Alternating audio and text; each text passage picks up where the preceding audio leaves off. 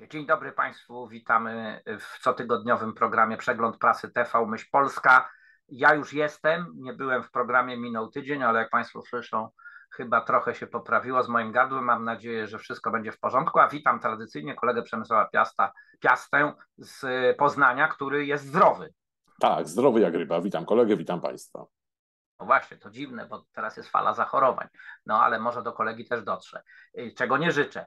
Y, proszę Państwa, y, kiedy żeśmy dyskutowali, od czego zacząć, no to oczywiście narzucił się jeden temat, oczywiście Radosław Sikorski i jego słynny tweet, który wywołał zamieszanie w skali międzynarodowej i tego chyba, proszę kolegi, nie unikniemy i od tego chyba trzeba zacząć, a nawet na pewno zacząć.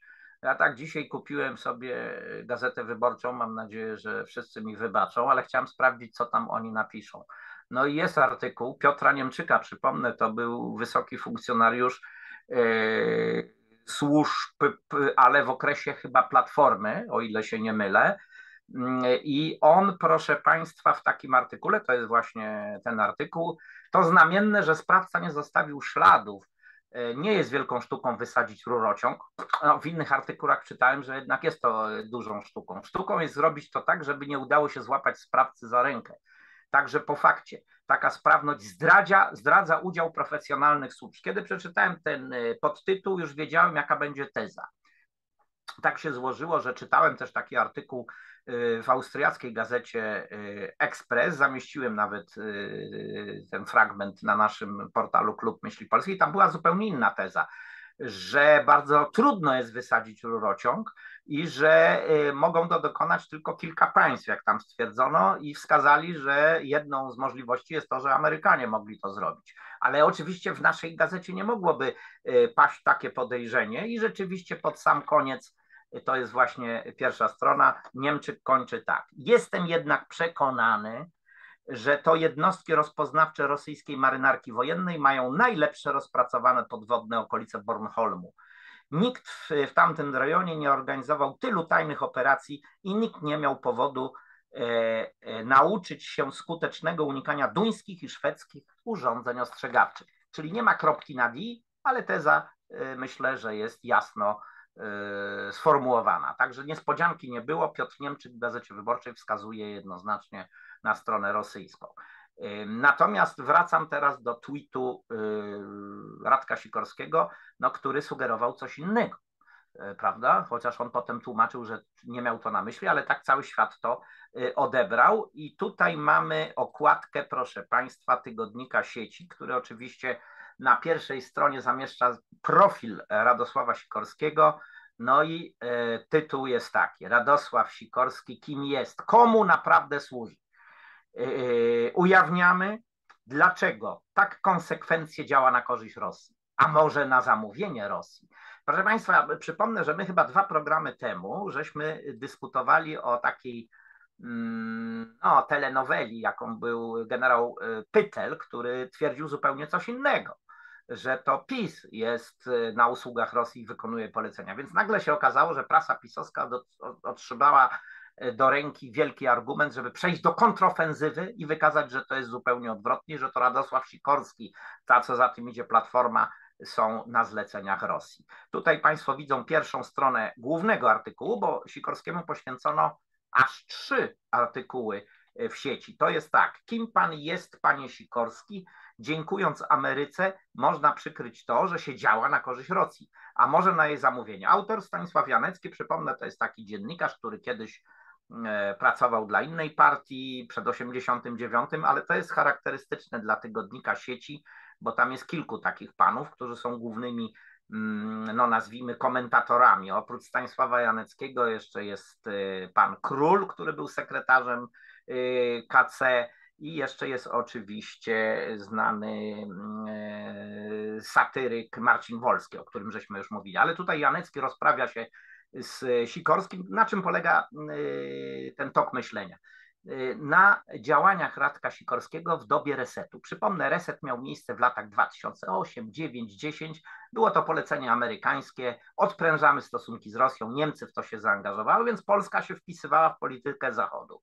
Ale dla PiSu teraz to jest koronny dowód, że było inaczej, że to Sikorski prowadził jako, nie wiem, chyba sam tą politykę odprężenia z Rosją, no i dzisiaj łatwo go atakować różnymi wypowiedziami. O jednej z tych wypowiedzi, która jest w tej chwili bardzo często przytaczana, to jeszcze powiem. A teraz kończąc tą pierwszą rundkę dotyczącą Radka Sikorskiego, mam pytanie, czy kolega też się tym tematem interesował i co, czy znalazł coś w innych gazetach? No, przeglądając prasę, nie sposób było ominąć tego tematu. On był dość szeroko omawiany. Ja może zaproponuję Państwu coś z mm, dziennika, który rzadko tutaj przytaczamy. Dziennik Gazeta Prawna, tekst Zbigniewa Parafianowicza pod tytułem Jak Sikorski stał się pełniącym obowiązkiem buta Chruszczowa. Myślę, że Państwo pamiętacie, o co chodzi z butem Chruszczowa, którym to rzeczony Chruszczow uderzał e, w mównicę, co było dość komiczne, e, ale też e, dość przerażające, bo jakby nie spojrzeć, to wyjątkowy prymityw E, trzymał e, rękę na guziku e, atomowym, który mógł w każdej chwili doprowadzić do zagłady świata. Ale wracając do samego tekstu, tu już redaktor naczelny przywołał przed chwilą postać generała Pytla i autor tekstu również przywołuje tą postać. Ja zacytuję może króciutki fragment. Sugestie czy też otwarte oskarżenia Radosława Sikorskiego o agenturalność na rzecz Rosji są warte mniej więcej tyle, co analizy generała Pytla na temat związku z Kremlem Antoniego Macierewicza. Obydwu polityków łączy co najwyżej zamiłowanie do hiperboli i liberalny stosunek do państwowych tajemnic. I te dwa zdania w gruncie rzeczy doskonale oddają charakter tego tekstu, zresztą moim zdaniem całkiem niezłego i całkiem trafnego, no ponieważ w istocie rzeczy problematyczne robi się, e, kiedy osoby takie jak Radek Sikorski, bo sam się przecież tak nazywa, a nie Radosław Sikorski.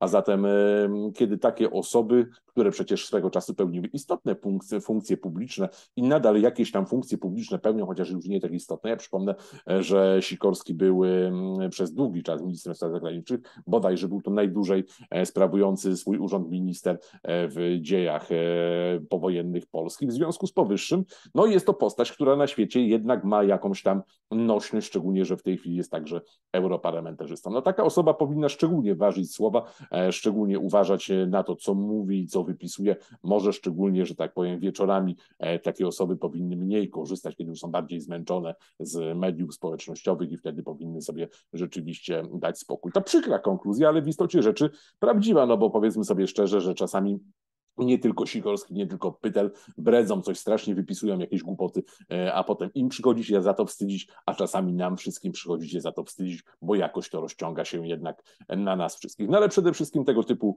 e, niemądre przedwczesne wpisy e, mogą w pewien sposób zaszkodzić nam jako społeczności, naszemu państwu. W związku z powyższym rzeczywiście słuszna uwaga, może byłoby dobrym momentem objęcie pewną opieką kontrwywiadowczą, to już moja konkluzja oczywiście, nie autora, niektórych co bardziej krew krewkich artykułów, no, e, autorów e, różnych wpisów, no bo powiedzmy sobie szczerze, rzeczywiście niektóre z tych wpisów są wyjątkowo e, szkodliwe. Natomiast no, jest jak jest. Niestety w Polsce spór wewnętrzny ma prymat nad racją stanu i już nie od wczoraj, nie od dziś. W związku z powyższym nie spodziewałbym się, aby tutaj nastąpił jakiś przełom i aby politycy poszli po rozum do głowy.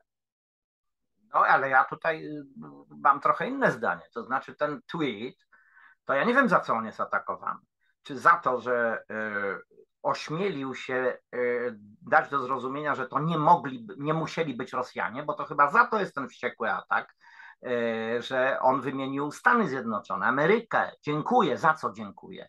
E, no za co? Za wysadzenie i tak dalej. Tak to ludzie zrozumieli. I no oczywiście, kolega, przecież to nie chodzi, że tak powiem, że obraził Amerykę, ale o to, że zdradził tajemnicę Poliszynela. No bo wszyscy się po cichu spodziewali, kto jest autorem e, tych działań, a nikt nie odważył się tego powiedzieć publicznie. Inna sprawa, że niekoniecznie musiał powiedzieć to publicznie akurat Sikorski, tak? No bo e, osoba jednak na takim e, stanowisku, osoba, która zajmowała takie istotne stanowiska w przeszłości, powinna jednak bardziej ważyć słowa i zgadzam się tu z opinią e, autora. Jakkolwiek co do podejrzeń w zakresie autorstwa, nazwijmy to w przypadku mm, Nord Stream, absolutnie zgadzam się z Sikorskim, tu nie ma niezgodności. Pytanie jest o to, czy osoby, które zajmowały, mm, piastowały pewne publiczne stanowiska, e, powinny meleć ozorem, co im ślina na język przyniesie. Kolego, bo y, robiła się wrzawa, bo on rzucił w cień podejrzenia, z tym, że to nie było podejrzenie, to było pochwalenie. Dobrzeście zrobili. A jeżeli 100 artykułów się ukazuje, 100 tweetów, i sto różnych wypowiedzi, y, że Rosja to, to, tamto, tamto, bez żadnych dowodów i nikt nie protestuje.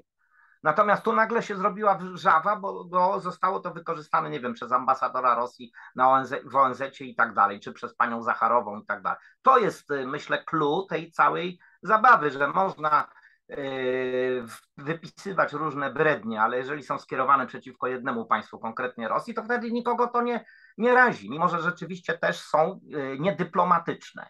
Dlatego ja uważam, bo ukaże się taki artykuł u nas w najnowszym numerze Myśli Polskiej kolegi Piskorskiego, który mówi bronię Sikorskiego. Nie będę mówił o co chodzi, bo sobie przeczytają Państwo w najnowszym numerze Myśli Polskiej.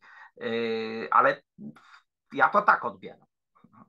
No kolego, niewątpliwie kolega ma rację, natomiast trwa wojna informacyjna. To jest wojna, na którą się nie zapisywaliśmy. Zapisał e, nas na nią polski rząd, jednak polski rząd, mimo że jest to rząd, z którym się gruntownie e, nie zgadzamy. E, a zatem, jak to w wojnie informacyjnej, pewne rzeczy się, są dozwolone, inne zaś są niedozwolone.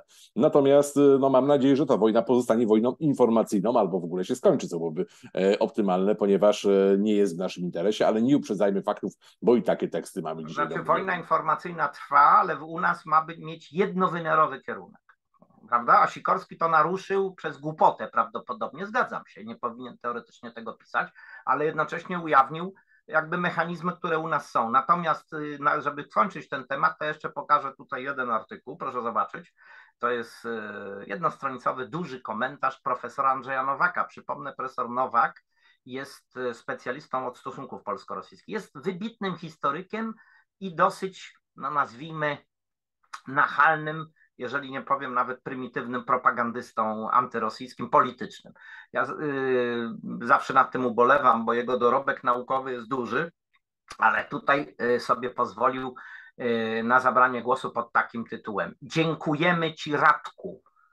Ale za co dziękuję? Nie to, że na przykład o, ujawnił jedną z potencjalnych możliwości tego, co się stało, tylko że się odkrył odkrył się jako człowiek sprzyjający Kremlowi, ale nie będę powtarzał argumentacji, bo ona mniej więcej jest taka sama w artykułach Janeckiego i tak dalej, ale y, przypomniał on słynną wypowiedź Radosława Sikorskiego, która została nagrana e, i została teraz przypomniana na temat sojuszu polsko-amerykańskiego, ponieważ ten cytat jest dosyć smakowity, pozwolę sobie Państwu go przeczytać.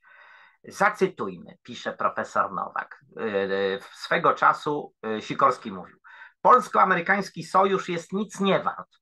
Jest wręcz szkodliwy, bo stwarza Polsce fałszywe poczucie bezpieczeństwa. Bullshit kompletny. Skonfliktujemy się z Niemcami, z Rosją i będziemy uważali, że wszystko jest super, bo zrobiliśmy laskę Amerykanom. Frajerzy, kompletni frajerzy. Problem w Polsce jest taki, że mamy bardzo płytką dumę i niską samoocenę taka murzyńskość. No i co? Aktualne czy nieaktualne? Powinien no dobre. To, on to mówił oczywiście w rozmowie w cztery oczy z kimś, nie opublikował wtedy na Twitterze czy coś, ale jest to już dzisiaj klasyka. Także tak chyba błąd wkradł, brakowało polskiego znaku diakrytycznego, chodziło o robienie łaski zapewne Amerykanom. E, nie? Ponieważ nie wierzę, że nasz minister e, posługiwał się tak plugawym językiem. E, natomiast no tak, no miał rację, natomiast e, to jest to, co przed chwilą mówiłem. No, momentami trzeba mieć umiejętność trzymania języka za zębami. E, ja sam tą umiejętność posiadam w niewystarczającym stopniu. E, w związku z powyższym zauważam też, że były minister Sikorski zdecydowanie ma z tym kłopot, co zapewne za zaważy w jakiś sposób na jego karierze. No ale zostawmy już e, Sikorskiego. To skoro no w tym przygłosie, to może ja zaproponuję Proszę inny temat. Dawno nie było tematu wojny na Ukrainie. E, no tak, oczywiście ironicznie rzecz ujmując, zawsze zaczynałem od tego tematu, bo to temat ciągle wiodący w polskich mediach. Ja tradycyjnie zasięgam do tygodnika, do rzeczy i będę Państwa zanudzał artykułami z tego tygodnika. Tym razem mamy kilka artykułów dotyczących tematu wojny na Ukrainie, ale trzy są niemalże dotyczące tej samej kwestii, a mianowicie potencjalnego ryzyka, bardzo prawdopodobnego zdaniem autorów e, ryzyka e, rozszerzenia się tego konfliktu także na nasze terytorium i to rozszerzenia się tego konfliktu w całkowicie fizyczny sposób.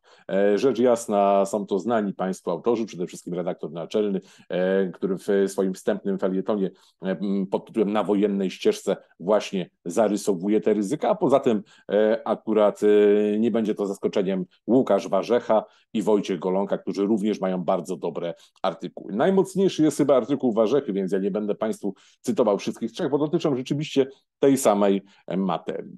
E, Tytuł artykułu Emocje na bok i tutaj jeden z podtytułów coraz bliżej eskalacji. Cytuję.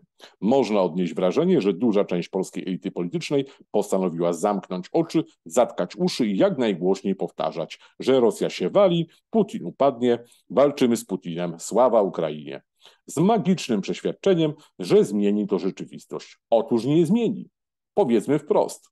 Po pierwsze, jesteśmy bliżej niekontrolowanej eskalacji, która sprawia, że wojna lokalna, jaką jest ta na Ukrainie, może zmienić się w wojnę co najmniej regionalną.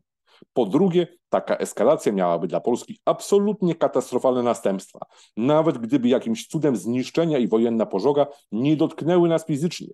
To byłby już dla nas nie krach, ale armagedon gospodarczy. A zatem, Szanowni Państwo, istotny wątek. Nawet jeśli ta wojna nie rozleje się na nas fizycznie, nas, nas już po prostu nie stać dłużej na to, żeby ta wojna trwała. Polska jest sponsorem Ukrainy. To, że Państwo e, płacicie tak, a nie inaczej w sklepach, na stacjach benzynowych, płacicie takie, a nie inne raty kredytu, jest wypadkową całego szeregu różnych czynników, ale istotną składową e, tej wypadkowej jest e, właśnie wojna na Ukrainie i to, że Polska jest sponsorem strony ukraińskiej. I cytujmy dalej Łukasza Warzechę. W naszym polskim interesie są w tej chwili przede wszystkim uniknięcie eskalacji oraz próba wygaszania zagrożenia. Na ile możemy na, mieć na to wpływ? Napiszę teraz coś, za co w polskiej debacie zostaje się natychmiast z automatu wyklętym, ale trudno. Ktoś to napisać musi. Ceną za osiągnięcie tych celów może być oddanie Rosji tego, co zdołała zagrabić i prawem kaduka przejąć co wcale nie musi oznaczać jej zwycięstwa w dłuższym okresie, wręcz przeciwnie. No widzicie Państwo, jednak, że tak powiem, można jakąś nową, świeżą tezę znaleźć w tej prasie prorządowej.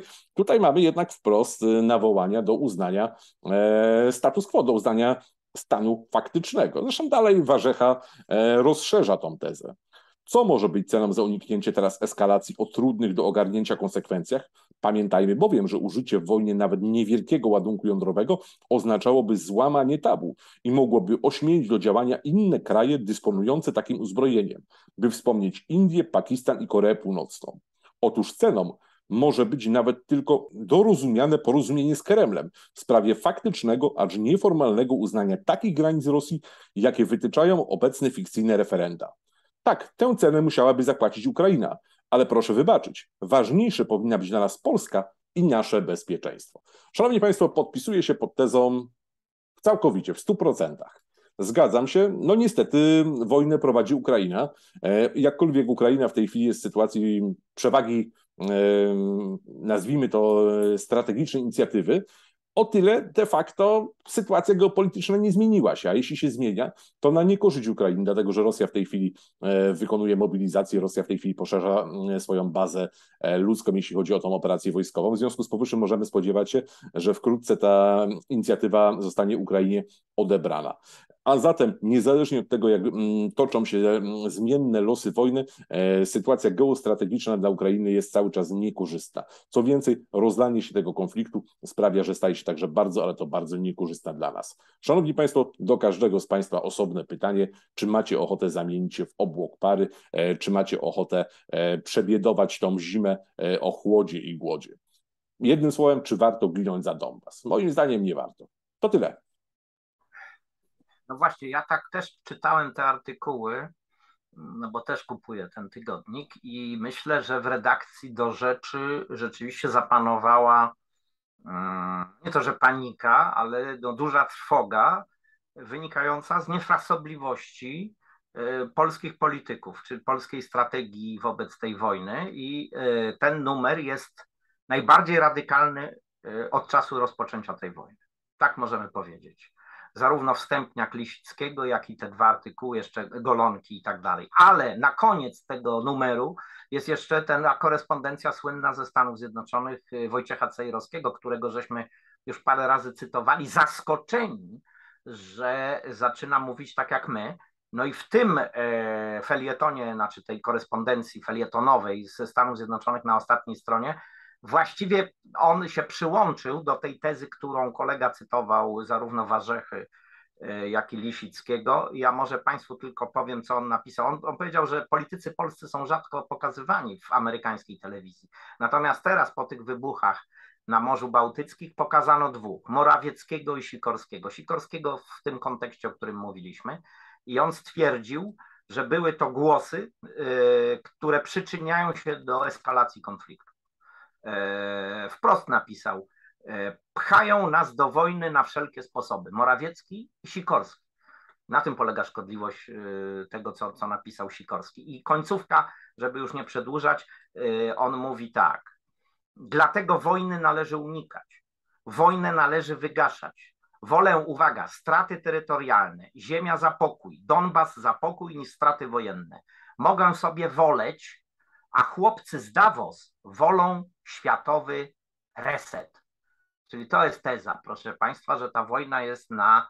E, Ukraina tu nie ma żadnego znaczenia. Wojna prowadzi układ e, świata globalistycznego o to, żeby realizować swoje cele e, sprzeczne z interesami i Ukrainy, i Polski, i Rosji, i wszystkich krajów nazwijmy, które w tą wojnę zostały wplątane. No także mocny, mocny numer rzeczywiście. Ja nie wiem, co na to ta główna część prasy propisowskiej, czy odpowie na to na przykład sieci, czy Gazeta Polska za tydzień, to się y, o tym przekonany. Czy kolega jest zaskoczony y, ostrością tez E, tego numeru łącznie z Cejrowskim? Zdecydowanie tak. No jeśli chodzi o Cejrowskiego, to jest kolejne pozytywne zaskoczenie. Ja przez dłuższy czas się zdecydowanie z nim nie zgadzałem, co do zasady wręcz, że tak to określę. Natomiast ostatnio ma coraz więcej zdroworozsądkowych tekstów. Ja zawsze uważam, kiedy ta propisowska prasa zaczyna pisać e, tekstem rozsądnym, bo to na ogół oznacza, że PiS coś knuje, że PiS coś kombinuje. E, powiedzmy sobie szczerze, że elektorat e, PiSu nie jest elektoratem jednorodnym. Nie wszyscy patrzą z wielką przychylnością na e, wojnę na Ukrainie. Nie wszyscy patrzą z wielką przychylnością na samą Ukrainę, e, więc e, to, co wyczyniał przez długi czas rząd Mateusza Morawieckiego z byłym już ministrem Dworczykiem e, na czele, no to było absolutnie dla tego elektoratu nieakceptowalne. O tyle takie różnego rodzaju ukłony w prasie okołopisowskiej było, były formą łagodzenia pewnych nastrojów. Zobaczymy, czy te teksty w do rzeczy to jest balon próbny ze strony PiSu, czy wręcz przeciwnie, tutaj redakcja mogła jednak jakieś własne wnioski przedłożyć na to opinię matki partii. Zobaczymy, jeśli w następnym numerze zabraknie nam tych lubianych przez nas tekstów sponsorowanych i reklam rządowych instytucji, oznacza to, że do rzeczy zostało skarcone i postawione do piodu. No jeżeli przy tym spotkamy się z krytyką tego w Gazecie Polskiej czy w innych propisowskich mediach, czy wręcz pisowskich mediach, no to sprawa będzie w tym momencie przesądzona. W innym wypadku obstawiałbym jednak, że PiS próbuje grać na kilku fortepianach naraz. A co do samego Cejrowskiego, to wzbudził we mnie tak wielką sympatię, że kupiłem nawet jedną z jego nowszych książek i, i czytam sobie obecnie. Także no, Cejrowski jest kapitalistą, więc myślę, że doceni ten e, sposób wsparcia. No to dobrze, to poczekamy za tydzień, czy będzie jakaś reakcja. Yy, ja uważam, że to jest wyraz takiej no, pewnej samodzielności tej redakcji, bo jednak yy, wnioski, które tam zostały postawione, no, odbiegają jednak nawet od tej pisowskiej ostrożności. E, no bo e, stwierdzenie, że lepszy pokój niż Donbas, no to u nas jest jako obrazoburcza teza, no i, i, i jest raczej nawoływanie do podżegania do wojny. No ale skończmy ten temat, a ja mam takie pytanie, bo podobno kolega kupił taki tygodnik, który jest bardzo nieraz czytany w kręgach patriotycznych, ale nikt go nie może do końca rozgryźć. O, o jaki tygodnik chodzi? O, to widzę, że kolega chce, żebym już przeszedł do rundy Michałków. No chciał, nie chciał, e, w ten sposób będę musiał to zrobić, bo, bo ten tygodnik nie, da, nie, nie nadaje się do innej rundy niż właśnie do e, Michałków. E, jest to tygodnik Warszawska Gazeta, nie mylić, nie odwrotnie, nie Gazeta Warszawska, ale właśnie Warszawska Gazeta. Jeden z naszych widzów i czytelników nakłonił mnie do tego w komentarzu pod naszym filmem, także nabyłem ten tygodnik. Po wielkiej przerwie Poprzednio nie miałem specjalnie przychylnej opinii na temat zawartości tego periodyku, no ale ta opinia była jeszcze umiarkowana. W tej chwili absolutnie nie jest umiarkowana. Odkryłem, szanowni państwo, zupełnie inne uniwersum. Ja w jednym z programów e, przejrzałem Gazetę Polską codziennie i myślałem, że tam już znalazłem się w zupełnie innym wszechświecie, ale tymczasem okazuje się, że warszawska gazeta jest jeszcze w innym miejscu. Nie powiem, że dalej, jest po prostu w innym miejscu naszego rodzimego domu wariatów. 70% y, objętości tego konkretnego numeru y, zajmują ataki na szeroko rozumianą Unię Europejską, która tutaj jednak jest rozróżniana od Niemiec. Tutaj w tym tygodniku Niemcy są tożsame z Platformą Obywatelską, a więc mamy w kolejności złą Unię Europejską, złą Platformę łamaną przez Niemcy, trochę złej Rosji, trochę złej innej nacji, nie wymienimy tutaj jaka to nacja, ale myślę, że wszyscy się Państwo domyślicie jaka, ale na przykład nie ma praktycznie w ogóle e, wychwalania Ukrainy, jak to się dzieje w innych pisowskich tygodnikach. Dlatego, Szanowni Państwo, że to jest tygodnik de facto pisowski. To jest kolejna próba kupienia jakiegoś ogólnopatriotycznego elektoratu, który sercem myśli dobrze, no a serce nie służy do myślenia, do myślenia służy jednak rozum, Szanowni Państwo, w związku z powyższym e, łatwo taki e, elektorat nieco wmanewrować. Mam wrażenie, że o ile projektem tego typu dla ludzi młodych i bardzo młodych jest Marsz Niepodległości łamane przez media narodowe, o tyle projektem dla ludzi nieco starszych, a więc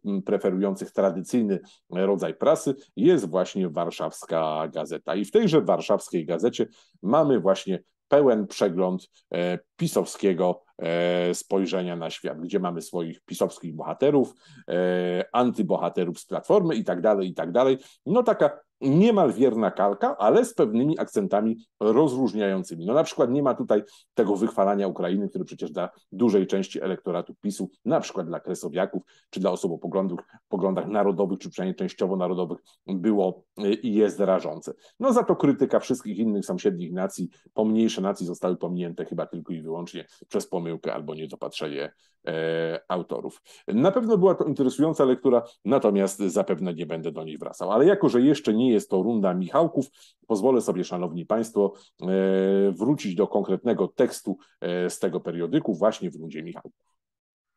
Dziękuję. Przepraszam, że kolegę wywołałem, ale ja uważam, że to nie jest temat Michałkowy, dlatego że ta gazeta czy tygodnik ma duży nakład oddziaływanie na bardzo dużą część elektoratu patriotycznego, więc sprawa jest poważna. Ja sam znam kilku ludzi, którzy czytają to i w ogóle nie odbierają tego tak jak my, mówią, o, przywalili tam i tak dalej. I dlatego yy, no, no, należy uznać, że powinniśmy również tego typu rzeczy ujawniać, prawda? Kolego, ale jak traktować na poważnie gazetę, e, która w tekście, akurat o przekopie Mierzei Wiślance, jest jeden z tych nielicznych tekstów e, pozornie neutralnych, ale faktycznie antyplatformerskich, pisze dokładnie takim językiem, cytuję. Warto przypominać postawę mentalnych parobków i lokajów, którzy gdy byli u władzy bali się nawet pomyśleć, że Polska jest suwerennym państwem. To są ludzie o duszach niewolników, odreagowujący swoje kompleksy na wewnętrznym podwórku. Szanowni Państwo, i tego jest więcej. Tutaj co drugi tekst jest ten deseń. To naprawdę jest ciężki kaliber. E, no ale jednak to oddziaływuje na ludzi, prawda? Bo to mniej więcej to samo się mówi w TVP Info, czy czyta się nawet w gazecie polskiej codziennie, także to nie odbiega jakby. Natomiast ta gazeta, na przepraszam, ten tygodnik uchodzi za niezależny to jest ten, to jest ten problem. No, z którym... no na tym polega cały myk. Media narodowe, e, sama nazwa jest zabawna, e, też uchodzą za niezależne. Marsz Niepodległości też uchodzi za niezależny. No oczywiście nie trzeba głęboko szukać, żeby sprawdzić, e, z czego te instytucje żyją, e, skąd dostają granty i to wielomilionowe granty i świetnie się mają. To wszystko jest utrzymywane z pieniędzy nas, podatników, e, poprzez czysto polityczną decyzję po stronie obecnie rządzących. Po prostu PiS potrzebuje narodowego elektoratu e, przy minimalnym koszcie. No minimalnym kosztem e, jest właśnie wytworzenie pozornie niezależnych ośrodków politycznych, medialnych, społecznych, które w kluczowym momencie właśnie popierają partię władzy. Mimo wszystko Duda, tak pamiętaliśmy e, tą akcję e, patriotów, którzy w kluczowym momencie mówi, mówią jednak, no PiS jest zły, ale mimo wszystko nie ma na kogo innego głosować. No to wszystko to idzie, a wiecie Państwo, gdyby ktoś płacił z własnych pieniędzy, to byłoby kłopotliwe, no ale jeśli płaci się z pieniędzy publicznych, to kłopotliwe nie jest. Od razu powiem, nie wiem z czego utrzymywana jest warszawska gazeta, ale w przypadku mediów mediów narodowych czy Marszu Niepodległości, no to tam akurat możemy wprost przedstawić, e, jakie granty otrzymały te, te, te instytucje e, i kto te granty przyznał. Także tutaj finansowanie jest oczywiste, jeśli chodzi o warszawską gazetę, nie mam tej wiedzy, natomiast przekaz jest dla mnie czytelny. To jest dokładnie ten sam przekaz, tylko dla innej grupy wiekowej. No podobno ze sprzedaży się utrzymują, bo oni mają dosyć dużo, ale y, na ten temat mówię, nie mamy informacji. To co, to może, żeby zakończyć tematy poważne, to ja jeszcze wrócę do y, poważnego tematu, który też w tygodniku sieci się ukazał, a mianowicie problem stosunków z Węgrami. W tym tygodniu, o którym mówimy, ukazały się dwa artykuły, które atakują Węgry, to znaczy w plus minus. Tomasz Terlikowski, którego żeśmy cytowali, nie będę tutaj cytował tego artykułu, olbrzymi na dwie kolumny, ale podobne tezy sformułował widoczny tutaj Grzegorz Górny, widzimy ten artykuł, Polski problem z Węgrami. E, pytanie, które zadaję, dlaczego Budapeszt wobec konfliktu na Ukrainie zajmuje odmienne stanowisko niż Warszawa? Czy jest to w stanie zniweczyć polsko-węgierską współpracę na arenie międzynarodowej? No i on tutaj się zastanawia, dlaczego Węgry takie stanowisko zajmują i wniosek dla mnie jest kuriozalny. Otóż, e, proszę Państwa, według niego e, to są niedostateczne doświadczenia Węgier z Rosją w historii. I pisze o tym tak. My mamy wielowiekowe doświadczenia wojen z Moskalami a także zaborów i okupacji. Dla nas komunizm był tylko jedną z odmian rosyjskiego imperializmu. Chciałem zauważyć, że termin rosyjski imperializm teraz jest najbardziej często używanym terminem we wszystkich wypowiedziach i publicystyce. Węgrzy zaś tylko raz w swojej historii znaleźli się w strefie wpływów Moskwy od 45 do 90. No i według niego ta, ten brak doświadczeń powoduje, że oni są tacy naiwni. Otóż ja chciałem stwierdzić, że to jest nieprawda dlatego że Węgrzy byli w dwóch wojnach światowych po stronie Niemiec i Austrii, byli pod Stalingradem w 1943 roku, gdzie poległo 100 tysięcy Węgrów, że w 1849, kiedy wybuchło powstanie węgierskie, armia rosyjska e, spacyfikowała je. Notabene Romuald Traugott był wtedy kapitanem wojsk rosyjskich, był po innej stronie niż Bem, ale to jest inna historia. Więc mają swoje doświadczenie. Przyczyna jest zupełnie inna. Po prostu Viktor Orban E, inaczej zdefiniował interes narodowy swojego kraju. Odmiennie i bardziej realistycznie niż my. I tego Górny nie chce przyznać. Ale na koniec, proszę Państwa, to jest ciekawostka, dlatego że to jest polemika z premierem Morawieckim. Wniosek e, Górnego jest taki. Wysuwane przez Orbana zarzuty o rzekome eskalowanie konfliktu dotyczą przecież nie tylko Zachodu, lecz także Polski. A w tej sprawie miejsca na kompromis między nami nie ma. Czyli on e, jakby e, odrzuca tą propozycję, którą miał nawet Morawiecki, że no różnimy się i tak dalej, ale trzeba współpracować. Co kolega na to? E, czy to może mieć jakieś znaczenie? Myślę, że nie, ale dlaczego takie antywęgierskie filipiki się pokazują? No kolego, powiem, zaskoczony nie jestem, bo tego typu głosy z środowisk e, szeroko rozumianych pisowskich dochodzą od dłuższego czasu. To jest strasznie zabawne, e, kiedy tutaj tak się nadymają ci pisowcy i mówią, o nie ma miejsca na kompromis, tak jakby oni cokolwiek decydowali, w końcu są tylko i wyłącznie podwykonawcami, w przeciwieństwie do Węgrów, którzy rzeczywiście decydują sami o sobie, przynajmniej w jakimś e, istotnym zakresie. No ale inna skala ludzi, inna skala perspektywy intelektualnej władzy sprawia, że pewne postrzeganie rzeczywistości jest odmienne. Węgrzy mają swoje traumy także ze Związkiem Radzieckim, ja przypominam rok 56, a pomimo to w pobliżu węgierskiego parlamentu ciągle znajduje się pomnik przyjaźni e, węgiersko-radzieckiej z gwiazdą, mimo że ta przyjaźń, powiedzmy sobie szczerze, była bardzo szorstka. Po prostu Węgrzy, niewielki, ale doświadczony historycznie naród, potrafią być, kiedy potrzeba, pragmatyczni, a nie tak jak Polacy, którzy właśnie nadymają się, przyjmują różne operetkowe e, pozy. Jeśli chodzi o, zaś o sam komunizm, który miał być rzekomo obliczem rosyjskiego imperializmu, ja przypomnę, że wśród y, nie aż tak licznych przywódców ZSRR mieliśmy nie tylko Gruzina, który nam jakoś szczególnie dopiekł, no i trudno się dziwić, to postać historyczna, która dopiekła nie tylko Polakom, ale mieliśmy także przynajmniej dwóch Ukraińców, ale także przecież ostatni przywódca Związku Radzieckiego, niedawno zmarły e, Gorbaczow, e, miał no tak w 50% powiedzmy ukraińskie e, korzenie. W związku z powyższym wiecie Państwo, jeśli mielibyśmy wyszukiwać, gdzie było to źródło imperializmu, może tutaj doszlibyśmy do wniosku, że nie był to stricte rosyjski imperializm, skoro takie międzynarodowe towarzystwo zasiadało za sterami tego państwa i tego bloku politycznego politycznego.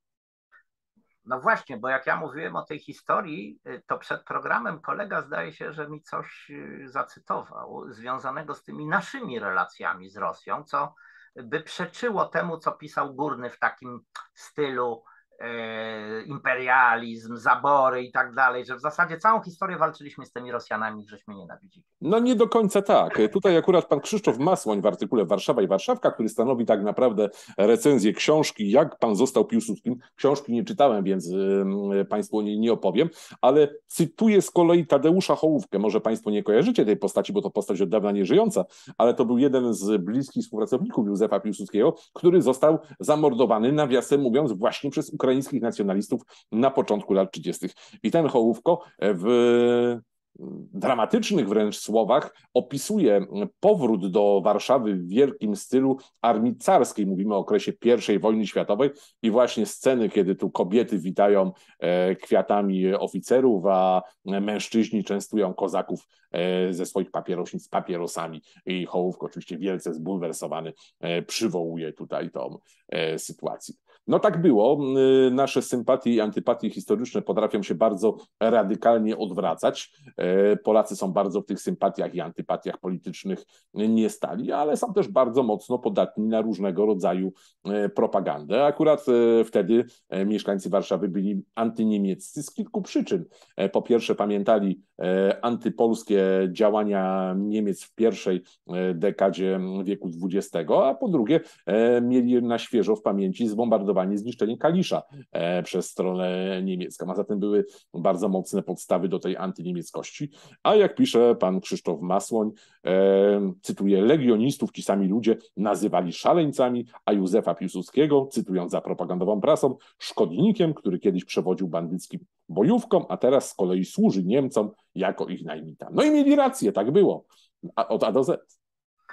No właśnie, bo to był bardzo y, ciekawy epizod w historii Polski, czyli lata 1914-15, kiedy nastroje ludności królestwa były zdecydowanie prorosyjskie, ale przecież to był nie jedyny fragment naszych dziejów. Jeszcze przypomnę okres Królestwa Polskiego i entuzjastyczne przyjęcie Aleksandra I, więc ta, ten nasz obraz historii jest y, wypaczony, jednostronny i służy dzisiejszej polityce, natomiast w historii, jak widać, była bardziej skomplikowana. To chyba skończymy te tematy poważne.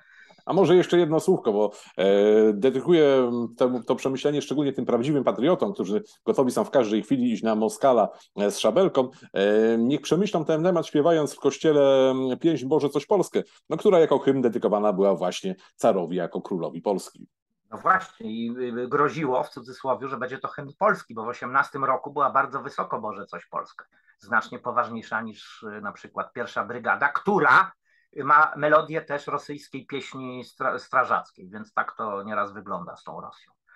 No to co, chyba przejdziemy do Michałków, ale ja nie wiem, czy kolega już nie wystrzelał wszystkich Michałków. Nie, jednak kolego, e, warszawska gazeta daje niewyczerpane źródło Michałków, tak nam już się troszkę Michałkowo zrobiło ogólnie. Ja, szanowni państwo, zacytuję więc kilka słów z artykułu pana Marcina Hałasia, to jest e, artykuł potem kroniki tygodniowej, więc zakładam, że to jakaś e, stała seria, no nie wiem, gdyż nie czytam regularnie tego periodyku. Tego tygodniowe kroniki dotyczą Antoniego Macierewicza oraz orderu Orlowiowego, który rzeczony Antoni Macierewicz został. Cytuję. Mało kto tak zasługiwał na order Orła Białego jak Antoni Macierewicz. Modzelewski, Kuroń, Michnik dostali już dawno. Komorowski rozdawał hurtem swoim kolegom z Unii Wolności. Po raz pierwszy od dawna Andrzej Duda nie zawiódł.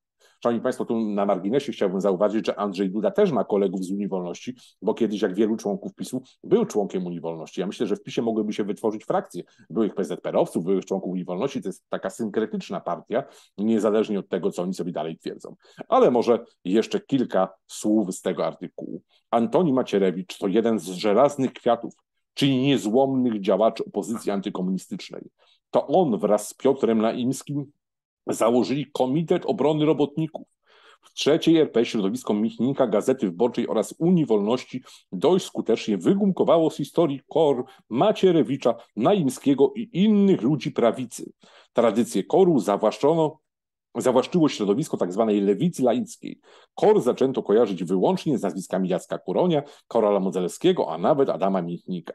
I tak dalej, i tak dalej. Szanowni Państwo, więc żeby e, znakomici działacze PiSu nie czuli się pokrzywdzeni tym, że tradycja koru została zawłaszczona, przypominamy, Antoni Macierewicz był kiedyś e, korowcem, był założycielem koru. E, wielu innych prominentnych polityków PiSu również wywodzi się z tej szkodliwej antypolskiej formacji. Przypominamy, żebyście i Państwo o tym nie zapomnieli. I to tyle, jeśli chodzi o Michałki w tym tygodniu. No, chociaż to też był taki poważny y, problem, bo y, to y, postrzeganie koru czy walka o to, kto był głównym korowcem, jest sprawą dosyć poważną, aczkolwiek rzeczywiście w stylu ten hałaś to takim no, błogonadiożnym to napisał. A ja mam Michałek jednak taki Michałkowy. To znaczy, przypomnę, że w Michałkach to zawsze staramy się jakieś wariactwa lewactwa. O, wariactwa lewactwa to powinna być chyba też rubryka. No i tym razem znalazłem w tygodniku przegląd, który okładkę, tutaj Państwo widzą tą okładkę, jest bardzo poważna, bo to jest e, artykuł dotyczący mm, IPN-u, od kłamstwa do kłamstwa. Autorem tego jest, uwaga, Paweł Siergiejczyk, o którym żeśmy już mówili, nasz były publicysta, potem wieloletni publicysta naszego, e, naszej Polski. To też taka była hura patriotyczno-piłsudczykowska gazeta, a teraz pisze w lewicowym przeglądzie. No cóż, nie mamy pretensji, ale jak czytałem ten artykuł, to tak jakby całe życie był na tej lewicy. Ale nie tym artykułem Państwa chciałem zainteresować, ponieważ w Michałkach musi być coś ciekawego. Y, to jest artykuł, to proszę zobaczyć. Wyrzućcie Anię z Zielonego Wzgórza. Y, promocja życia w Ciemnogrodzie. Bronisław Tumiłowicz jest autorem tego tekstu, nie znam gościa, ale proszę Państwa, ja nie jestem czytelnikiem tej powieści, ale wiem, że ona od wielu dla wielu pokoleń, no głównie dziewczynki to czytają, zaraz kolegę spytam, czy czytał, y, jest takim no, klasyką. Y, rzecz dzieje się na początku XX wieku y, w Kanadzie, no i okazuje się, że pan Tumiłowicz twierdzi, że to jest gloryfikacja ciemnogrodu. To jest mniej więcej w tym stylu, co teraz się mówi o tych, tych kanadyjskich tam wychowaniu dzieci i tak dalej, tych Indian. Yy, cała sprawa dotyczy też nowego przekładu Ani z Zielonego Wzgórza, które yy, jest pod innym tytułem i zmienia niektóre terminy. Ale przy okazji dowiedziałem się, że niejaki Netflix, yy, który jak wiadomo teraz obsadza wszystkie, całą klasykę aktorami ciemnoskórymi. Na przykład widziałem marszałka Mannerheima jako Murzyna, Hamleta i tak dalej. I że podobno oni dokonali zmian w Anie Zielonego Wzgórza i tam jest społeczność LGBT i mniejszości. Ponieważ w pierwowzorze e, te mniejszości narodowe nie są dobrze pokazane, po prostu mentalność ludzi z początku XX wieku. Ale tu Miłowicz mówi tak, żadne poprawianie nie ma sensu. Trzeba to wyrzucić na e, śmietnik historii, dać e, młodzieży współczesnej inne lektury pasujące do współczesności. Co kolega na to? Czy kolega czytał Anię z Zielonego Wzgórza? Kolego, unikałem jak tylko mogłem. To jest kiepska lektura dla chłopców. To w ogóle dziewczynki czytają takie e, historie. No ja to czytałem przygody Tomka Sawyera albo Huckleberry'ego Fina, tak? To jest dobra lektura dla chłopców rozwijająca. Jacka Londona, dajmy na to. To też wspaniałe przygody, tak? Ale nie, nie, Ania z Zielonego Wzgórza nie do przeczytania. Także nie będziemy ronić łez. W przeciwieństwie do Winetu, który oczywiście kształtuje młodego chłopaka właściwe postawy, no to Ania z Zielonego Wzgórza to raczej mało, mało chłopięca lektura. No ale jednak teraz, jeżeli oni go to atakują, chcą wyrzucić, to jednak może byśmy stanęli w obronie tej Ani Zielonego Wzgórza, nawet jak jest nudne, ale niech koleżanki to czytają.